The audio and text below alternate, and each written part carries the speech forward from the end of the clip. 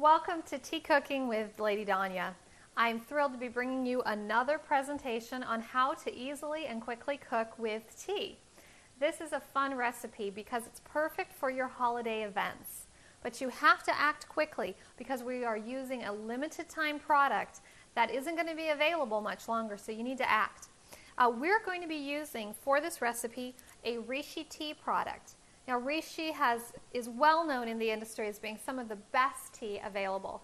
Fair trade, um, it is organic, and, and this is um, particularly a fabulous product because it is a special limited edition organic cinnamon plum. So it's not actually a tea, it is a tisane, it falls in that category, and it is beautiful. Not only does it have just a lovely scent, but it is just very elegant looking, and the color is just beautiful. Um, smells very fresh. It has fresh cinnamon bark, and of course, it has a variety of um, caffeine free uh, hibiscus and plum. So, we're going to be using this in our recipe today, and you definitely want to go to Rishi.com and order some um, from Rishi Tea because once it's out, um, you won't be able to make this recipe. So you definitely want to get going.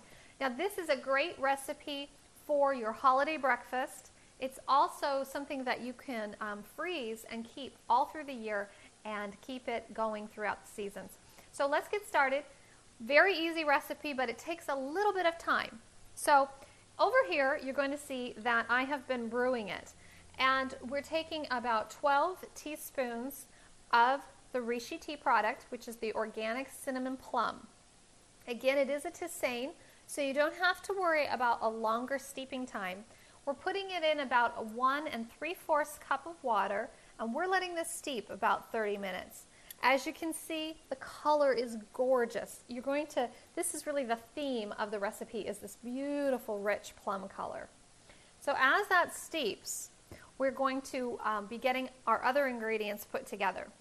Now, you're going to be needing for this some plum juice. Now, plum juice is kind of hard to come by, and so another option that you can do is buy a can of whole plums, um, such as this always say that we just found in the supermarket, and you're going to open it up and drain off some of the syrup and the um, juice. You're going to need about a quarter cup of that, and we've got that right here for you. This quarter cup of juice is going to go into your uh, pot that you're going to be cooking with. So just pour that in. Again, it is just a gorgeous color. Now, you can use the actual plums that also come in the can. The actual plums, as you can see, um, are, are not something that maybe you would want to use directly in the mix, but you could put them into a strainer and press them down and drain some of that juice in as well if you want to have actual pieces of plum within this recipe. So that's an option. All you need is a ricer or a real tight strainer where you can do that. For this example, we're just going to move past that. Again, that's your option. And we're going to put into here three cups of sugar. So this three cups of sugar, I am using an organic sugar. Um, but you could also use a raw cane sugar as well. And we're going to just slowly put this into the pot. And we're going to add our tea right over that. Now,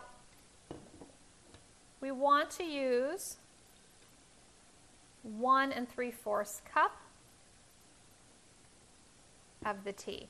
Now, again, remember this has to have uh, steeped about 30 minutes. You want a long steep on this process so that you get that rich flavor. Now, just continue to stir the sugar in, and you're going to add more sugar until you have completely filled your pot. It's really important to continue to slowly put that in. You don't want it to um, crystallize, you just want to the warmness of the tea will help that melt. And then we're going to take it over, we're going to take it over to the stove and bring it to a boil. Take this over to the stove and bring it to a boil.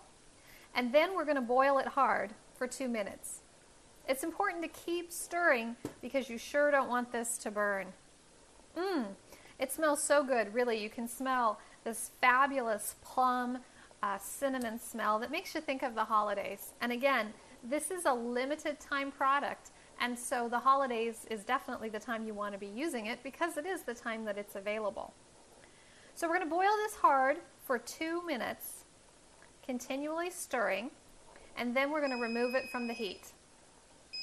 So that's our timer. And we're going to just set it here, removing it from the heat. At this point, we want to add our liquid fruit pectin. Make sure that this is the liquid kind. That's the only kind that really works with this recipe.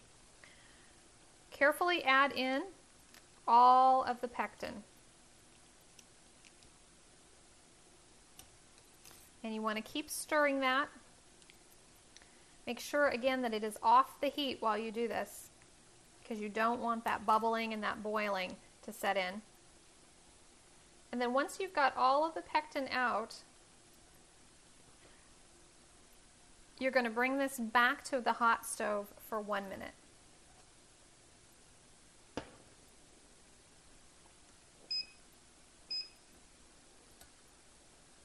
So bringing it back to the nice boil and boiling it for one minute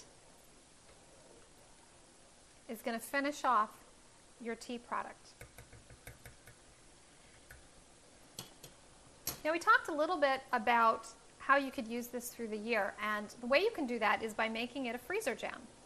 As a freezer jam, you're going to be able to put it in the freezer and pull it out as needed. It is fabulous on scones, uh, toast, and especially if you just heat that jam a little bit and pour it over fresh holiday waffles. I love that, and your kids are going to love it too. So again, you're going to want to bring this to a boil for one minute only. And then you're going to remove it from the heat and remove the foam. You see that the foam is starting to rise. That's a sign that the pectin is taking effect. That's good. And that's our time, so we're going to pull it from the stove.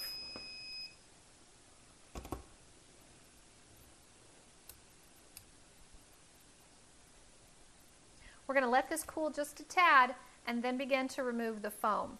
All of this extra foam needs to come off because it won't uh, work for creating a good seal in the freezer. Once you've removed it from the stove and tried to skim off, skim off most of the foam, you're going to need to work relatively quickly. Now, if you have jelly jars, you can certainly put it in that. But if you have something as simple as a Glad um, small container, you can use that as well. And you're just going to place the hot liquid into the jar. Be sure and allow some space because it is going to expand a little bit. You're going to let these cool for about 20 minutes and they'll start to firm up and you'll be able to see that. Then pop the lid on and pop them into your freezer. They're freezer jam. And when you need it, just pull it out Obviously, you can use that for a jelly or a jam, which would be excellent on a fresh scone. But if you're making waffles for that special holiday morning, you can also use it as a simple syrup. As it comes out of the freezer, just let it warm up. You can actually warm it in the microwave if you like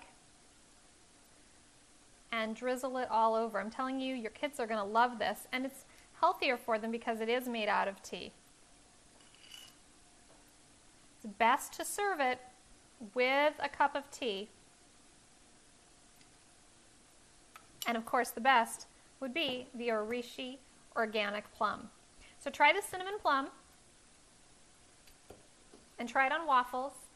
And then make sure that you have lots of containers because you're going to make some fabulous freezer jam and be able to serve it all year long, and your friends are going to ask you how you did it.